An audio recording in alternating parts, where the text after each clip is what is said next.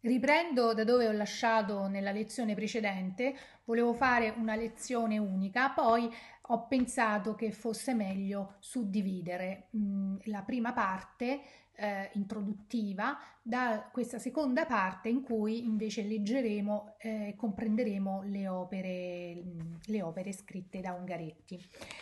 Allora, la prima poesia che voglio leggervi è Veglia mh, mm, tratta dalla raccolta Il Porto Sepolto.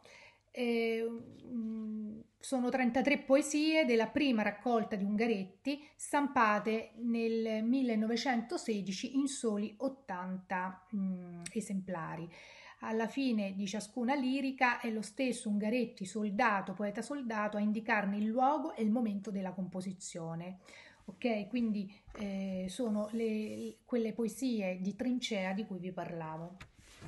Veglia, un'intera nottata buttato vicino a un compagno massacrato, con la sua bocca digrignata, volta al plenilunio, con la congestione delle sue mani perpetrata nel mio silenzio. Ho scritto lettere piene d'amore. Non sono mai stato tanto attaccato alla vita. Ecco, una poesia mh, mm, simbolica, simbolica perché eh, racconta come se fosse impresa diretta la guerra nella sua tragica e assurda disumanità.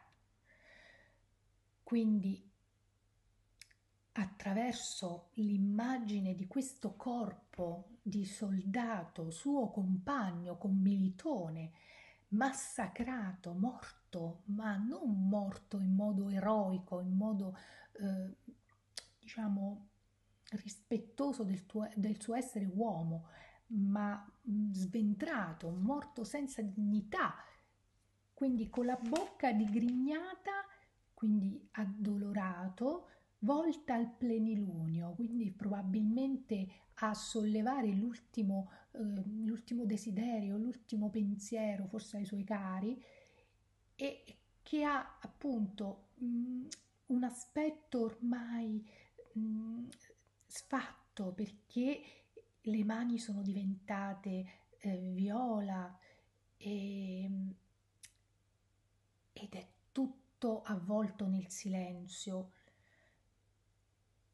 In quel momento, con quella scena, ma soprattutto con quella compagnia di un cadavere accanto col quale fino a qualche minuto prima si era magari riso o scherzato o condiviso il momento e l'esperienza, Ebbene, in quel momento il poeta sente il bisogno di scrivere, di annotare questo impeto emotivo, di verbalizzare un dolore che potrebbe essere troppo forte perché possa farlo sopravvivere. Quindi piuttosto che morire di dolore, il poeta sceglie la via salvifica dello scrivere. E il messaggio che rivolge a se stesso come un mantra e anche a noi che lo leggiamo è che la vita è bella e che bisogna amarla, apprezzarla, che bisogna essere attaccati alla vita perché ci sono delle fatalità, delle contingenze, dei momenti di dramma in cui la vita si può perdere. E quindi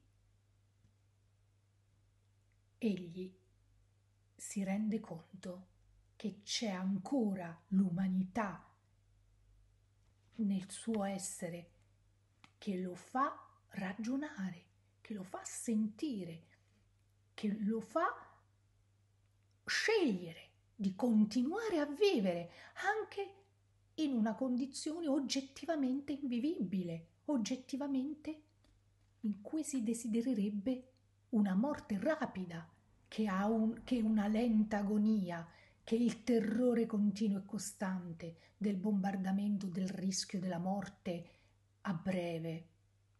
Quindi vedete, senza parole, senza spiegare, senza precisare, noi lettori riusciamo a cogliere tantissimi significati in questa poesia e riusciamo soprattutto a leggere un monito che è quello che scrivere, che interrogarsi, che mettersi in ascolto di se stessi è la via probabilmente per salvarsi. Veglia è scritta con la tecnica consueta di Ungaretti, volta alla ricerca della parola scarnificata, essenziale, pura o assoluta, immune cioè dalle incrostazioni del linguaggio convenzionale. Ungaretti stesso spiegò la ragione di tale ricerca. Stando tra i morti, egli scrisse, non c'era tempo, bisognava dire delle parole decise, assolute. Ecco allora questa necessità di esprimersi con poche parole, di liberarsi, ripulirsi della retorica e di non dire che quello che era necessario. La parola quindi indica la ragione della veglia notturna del poeta. Il plenilunio verso cui è rivolta la bocca del compagno massacrato è il simbolo della dolcezza, della bellezza della vita, dell'ancora di salvataggio che sono gli affetti, le persone che sono nella nostra memoria in qualsiasi istante della vita e soprattutto nell'ultimo istante della vita.